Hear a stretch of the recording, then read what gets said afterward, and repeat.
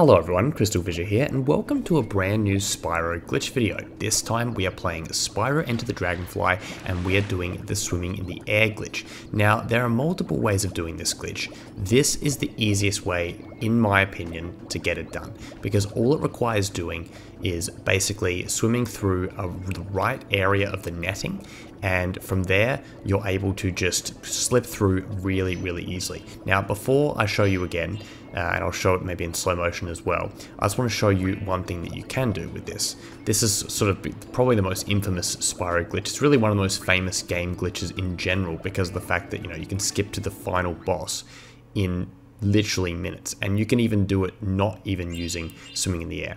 But as you can see, here we are, Ripto. Let's defeat him. Let's let's let's do this whole boss. Let's uh no, actually, there's, there's pretty much nothing worse I could think of doing than spending, uh, you know, a, Wednesday, Thursday morning, uh, you know, playing against Ripto. Now, by the way, just quickly there as well, if you skip through at the right angle, if you charge through, you're able to do that. Now, this is the common way I've seen people do this, or at least I, the way I saw it years ago was doing this, right? Head bashing in the right spot. Problem is, I just could not get it. Now, I'm probably not doing it exactly right, but it is actually a real pain.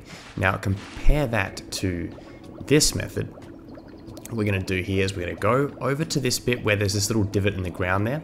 And all we have to do is pretty much hit in the middle and we end up going through. You can you kind of feel it when you're playing the game, if that makes any sense. You'll kind of feel that like you're almost getting stuck and if you just keep charging forward, you're able to do it.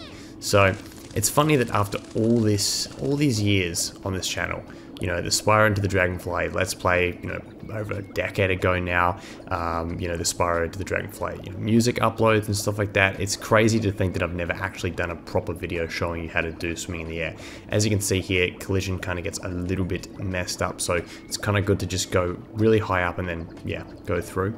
But hopefully that's enough of a tutorial for you. Hopefully you understand what I mean. It really is, believe it or not, much like Daniel Garcia will say, it's about the feeling. You got to restore the feeling. You know, you'll you'll you'll know once you've got it.